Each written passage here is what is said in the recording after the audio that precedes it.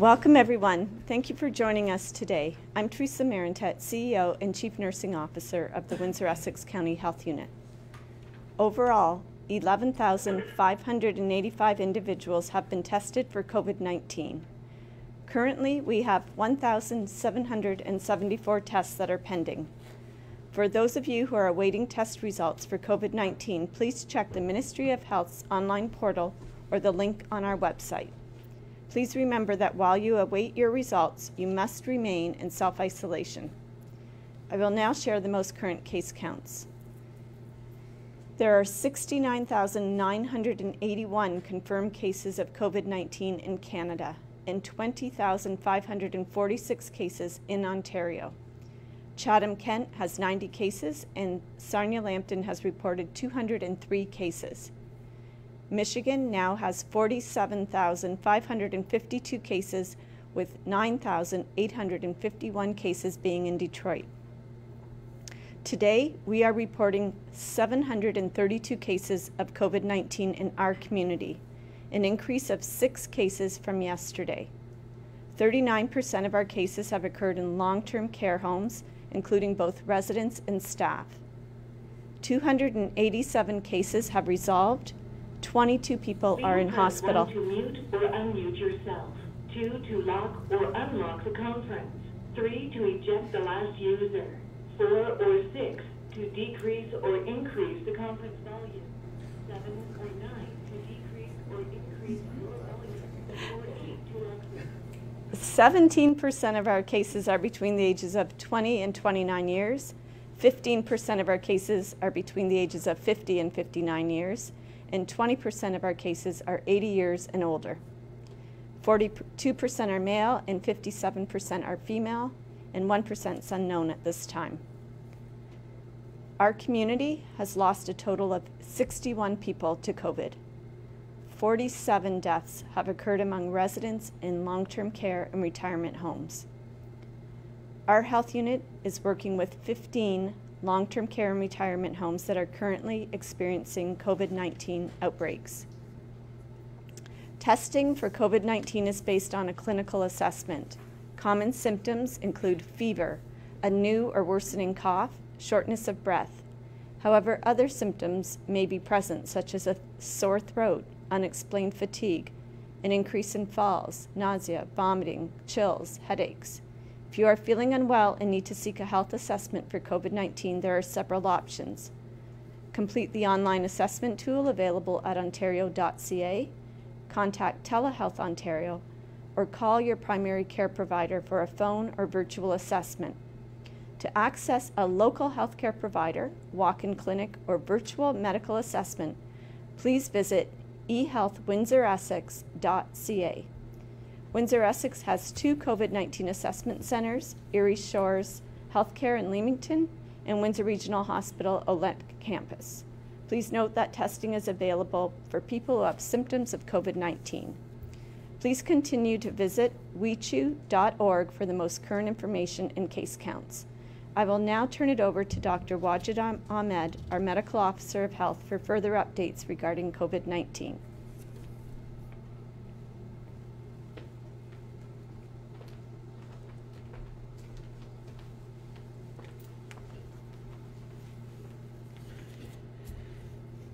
Good morning, everyone, and thank you for joining us. We are deeply saddened to report two additional deaths today. One woman in her 90s and another one in her 80s passed away and passed away yesterday. Both women were residents of long-term care homes. I would like to share my condolences with the family for their incredible loss. This morning, I'm also pleased to enjoy uh, join, to be joined today by Elaine Isaacs, Integrated Care Manager at Southwest Ontario Aboriginal Health Access Centre, Windsor Essex, or SOAHAC. The Ontario Public Health Standards outline the importance of relationship between local public health units, boards of health, and First Nation, Métis, and Inuit people to ensure the appropriate delivery of health services, increase health equity, and reduce the disparities experienced by First Nation. The Windsor Essex County Health Unit is excited to uh, build upon our existing partnership with SOAHAC and announce the expansion of COVID 19 assessment and testing centers for First Nation, Metis, and Inuit people and their families in collaboration with SOAHAC. The Windsor Essex County Health Unit recognized SOAHAC as the health lead for First Nation, Metis, and Inuit people and their families and acknowledges that they are in the best position to provide assessment and testing services that meet the physical, cultural, and spiritual needs of local Indigenous communities. The Windsor Essex County Health Unit will provide uh, public health guidance and support for SOAHAC as well as swabs to complete testing on their community. We are grateful for the exceptional working relationship with uh, Windsor Essex County Health Unit has with SOAHAC, and I'm confident that this expansion of testing will ensure that local First Nation, Metis, and Inuit people have options and access to COVID 19 assessment and testing. I will now turn it over to Elaine Isaacs to provide more details SOAHAC's, uh, about SOAHAC's response and services for Windsor Essex. Welcome. Thank you, Dr. Ahmed. Saguli, bonjour, kulamatsi, wache. Greetings, everyone. During this pandemic and always, Aboriginal Health Access Centers like SOAHAC work to ensure that First Nations, Métis, and Inuit people can access the services they need for good health. We are honored to have a strong partnership with Windsor Essex County Health Unit that allows us to both improve health equity and provide culturally safe COVID 19 testing options for the Indigenous communities in Windsor Essex County. Across SOAHAC sites, we have been working closely with Indigenous communities and health system partners, local public health units, regional pandemic planning tables, and the local health integrated networks. We are inviting input and collaboration with First Nations communities in support of individualized responses for each community. For example, at our Chippewa site, we have been working closely with Chippewa the Thames First Nation, Oneida Nation of the Thames, and Munsee Delaware Nation Health Centers and are currently developing a partnership with Oneida EMS to explore possibilities for mobile testing for people with mobility issues. In Aamjiwnaang First Nation near Sarnia, we are supporting the community response by providing a nurse to provide testing. They are also launching their testing today in partnership with Lambton Public Health. Here in Windsor, we are expanding our testing services beyond our existing clients to the Indigenous community at large, in alignment with our core mandate, which is to improve Indigenous health by increasing the accessibility and quality of health care services for individuals, families, and communities. We want First Nations, Metis, and Inuit people to know they have options when it comes to access testing. You do not need to be a client of SOAHAC to be tested here. Services are open to all First Nations, Metis, and Inuit people living in and around Windsor. Screening is done over the phone with one of our healthcare providers. The first step is to call SOAHAC Monday to Friday, 8:30 to 4:30. We will ask you about your symptoms, gather health information, and use a standard assessment tool from the Ministry of Health. And based on the screening, a testing appointment, time, and date are provided. When you come for testing, you'll also be provided with valuable educational information by our, offered by our primary healthcare team. They will be there to answer any questions you may have and support you through the testing. We will provide you with instructions how to obtain your results. The Windsor Essex County Health Unit will follow up on any positive results and ensure that you have the support you need. This information is posted to our Facebook page and our website. If you have any questions, please call us. We are here for you. Yamago, Miigwech, Anukshuk. Thank you for this collaboration and for recognizing our Indigenous rights to determination our health. Thank you. Yamago. The conference is now unmuted. We'll now take questions from the media. We'll start with the Windsor Star. Uh, yes, this is for Elaine. How many individuals does your organization typically serve? Right now, we're currently serving close to 700 individuals, and we are expanding. And then um, you're talking about opening these services up to the uh, con- indiv- indigenous community at large. Um, how many people would that would that be that you would be uh, offering to provide these services to? Well, the recent Census Canada report shows we have a little over 8,000 in Windsor Essex County. However, we are aware that not all Indigenous people complete the Canada Census, so we know that those numbers are much larger. And, and can you talk a little bit uh, more just about why it's very important to offer this service specifically to the Indigenous community and reach out to them directly? It's really important that we broaden our strategies to address the health equities uh, for Indigenous people. Uh, we want them to feel safe, comforted, and, and know that we uh, provide the best quality care and uh, understand where they come from as Indigenous people and the disparities they may have faced in the past. Thank you. Any questions from CBC? Uh, not at this time. Thank you. Any questions from Blackburn? Yes. Uh, sorry, a little bit unrelated to what we were talking about. Dr. Ahmed, um, the, are there reports from Chatham Kent that uh, 70 contact workers from Leamington um, that worked at uh, Greenhill Produce, uh, they were contact workers and they were tested uh, because of the outbreak there, and there were 12 that tested positive that would be among our numbers. Uh, is that a correct figure? Numbers of anyone who is living in our region will be counted as a case in our community. So the cases that uh, that uh, uh, whoever lives here, it would have been counted already, and uh, we continue to to look for uh, to add those cases when whenever we identify a, a, a, worker in these farms.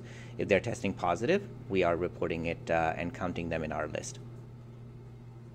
And so, can you confirm how many um, migrant workers have tested positive?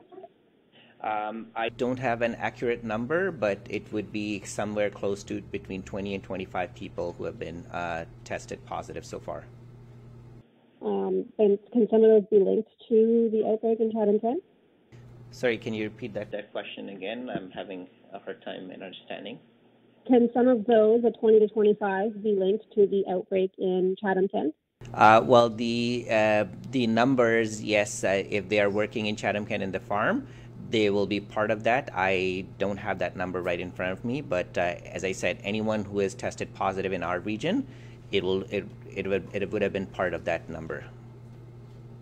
And do you know of any other outbreaks locally in any of the facilities?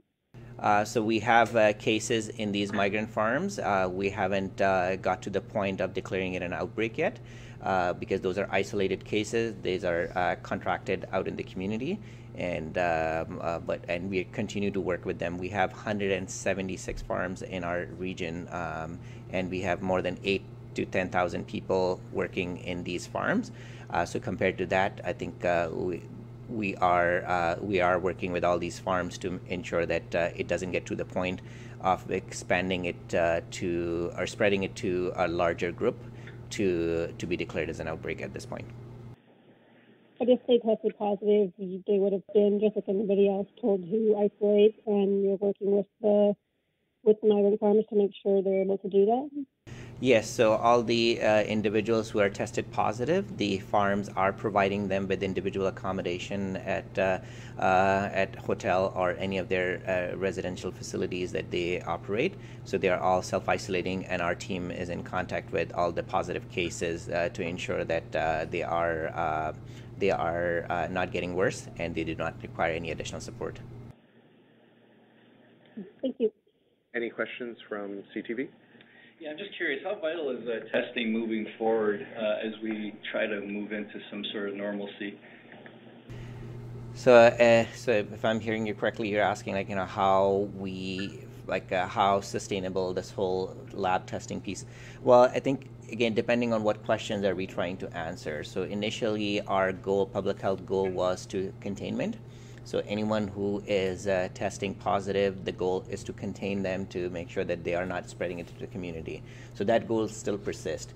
But now what we are doing is we are expanding that to even identify individuals, especially in the high risk commu- uh, areas such as long term care home and retirement home, and to get a better handle of what's happening there right now. And, uh, and then that would give us a little bit better direction if we, if we need to do more proactive work in that facility swabbing people or testing people, we just have to be careful. This is just a point in time assessment. It's not one thing that would prevent any of these cases from happening in the first place. So let's just be very clear because some people think that if we are testing more people, that would help us to prevent cases. No, it won't. The only thing that would help us more and more is to to follow the public health guidance, to follow the infection prevention and control measures that are being practiced, and individuals who are getting sick, they are uh, staying home and they are following all that. So now, the next question would be, as we move forward in the next stage of this COVID response, is how prevalent it is in our community and then that would require that means we'll have to expand the testing to even people who may not be symptomatic at all. Like i i, requ- I urge anyone who is symptomatic to go to the assessment center and get tested. So that's absolutely one thing that i want to uh, people to do. But some people are reluctant to go to the assessment center for various reasons but uh, I, I, I think people should go because we need that number and then when we're expanding it, we need to have a better handle on what's happening in the community with these testing. And we also need to know uh, when we start antibody testing, also what criteria that we need to do to use to have a better handle on what's happening in the community. So whatever we are have, having right now is the incident rate. So that means the new cases that are that are in the community. But then when we are going through the more uh, lab system or testing more, we'll be moving more towards what's the prevalence in the community and then what does it mean for our community in terms of the um, immunity that people are developing or not. So I think it, it, it, it is a good question, but uh, it, those are the conversations that we are having right now. We don't have, we haven't landed on a plan yet, and some of this will be guided by the prov- uh, provincial government. But locally, we are also moving into that model that how we can uh, get to the stage of uh, having a better handle on what's happening on the ground. Time frame right now, basically, Yes. right? Yeah. So So, um, I guess next question, uh, it was thrown at me by someone in LTC. Will there, yesterday we talked about how all the homes by the end of the week probably will have been swept, right? Yeah. Or swabbed. So I guess the next question is, will there be a second wave of testing for the LTCs and retirement homes? So right now there is no direction on that, and uh, some of the homes are already testing people, even though after we have the mass testing done. If someone who's who has been uh, negative, let's say, but if they develop symptoms, they are being tested again. So I don't anticipate that it would be like a mass testing on everyone again, but definitely anyone who is developing symptoms, they will continue to be uh, swabbed and tested just like we normally do with any type of outbreak measures. Every time someone is symptomatic, the recommendation is to isolate them to make sure that all the infection prevention and control measures are in place, the individual is tested appropriately, and uh, when we get the lab results back, and then further uh, measures are taken. One more? Sure. Okay. Uh, I know we've talked about this in the past, um, but it's coming up again, so sorry about that. Uh, just, would it serve our community to have a lab? Absolutely, and I think that's uh, it's getting more and more apparent that uh, having a lab in a in a community of ours like ours, it would be uh, really important for us. Right now, the majority of the challenges that we are having is around the the logistics of how do we test them, how do we send it to the lab, and what's the turnaround time, and it, it, it is it is a lot and depending again what the future looks like if the current volume of testing eh, what we are doing right now will continue or even building capacity for the future i think it is important that we we should have a lab in our community Any questions from AM 800?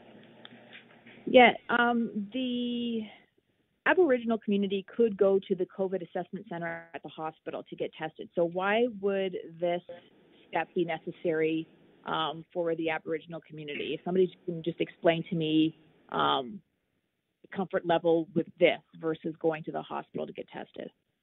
Sure, I'll, I'll answer to that. Yeah. So during this pandemic and always, we want to ensure our Indigenous people have options. They need to feel safe and comfortable as possible to access the services they need. Uh, Aboriginal Health Access Centres recognize our Indigenous rights to determinations in health, and we support COVID 19 screening and testing services as identified and led by Indigenous communities and organizations across Ontario. We do this because we recognize the need for Indigenous specific responses as part of a broader strategy to address health equity for our people. And if I can add, and if I can add a little bit more to that, uh, definitely uh, the health equity piece is a very important piece, and uh, it uh, we recognize that uh, um, the indigenous community uh, is identified by the ministry as also as a as a, a priority population for testing. So we want to make sure that there are options available for the community to get tested and assessed uh, anywhere. So they can, as you said, they can go to the assessment center, but now they also have the option to go to uh, SOAHAC for testing. Uh, so it's just increasing their options depending on their comfort level, uh, and uh, we we don't want to put any barriers. We in fact we want to remove all barriers for people to access uh, the testing and to get the support that they need in the way that they want it. Thank you for the explanation.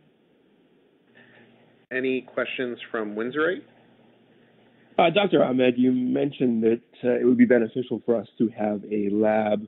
If one was approved tomorrow for Windsor Essex, what do you think the timeline would be for that type of thing from construction to being up and running? Uh, I probably am not the right person to answer that question. Uh, I anticipate it could be anywhere between four to six months, but again, depending on what are the current existing infrastructures are available. Are we building everything from scratch, or do we have a facility that can be retrofit to to create that lab? We, I, I don't honestly don't know, and uh, may not be the uh, right person to ask this answer this question. Okay, thanks. Any further questions from the Windsor Star? No, thank you. CBC? No, thank you. Blackburn? No, thanks. CTV? All good. AM 800?